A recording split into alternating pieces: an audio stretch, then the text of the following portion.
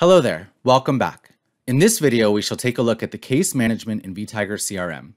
Does your customer service team find it hard to track the issues raised by customers, or are they finding it difficult to scale their productivity without smart automation and thoughtful case management?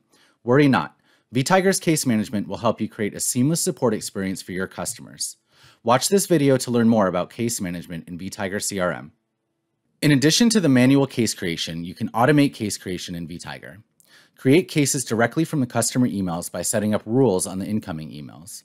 Embed a web form on your website where your customers can report the issue they face. You can auto-assign cases to your team members based on a round-robin or least-loaded method in vTiger. Your team members can prioritize customers' issues with a well-defined SLA policy. Set up email alerts to remind you of case deadlines. Configure escalation emails to be sent on SLA violations. You can track the time spent on cases effortlessly with time logs you can reply to a case from the summary view of the case record. When customers ask you common questions frequently, then you can convert the case into an FAQ. Use workflows to automate certain actions on a case. For example, you can update the case status to closed if it was resolved more than 10 days ago. Oh wait, one last thing. You can take the customer's feedback on the service provided by you.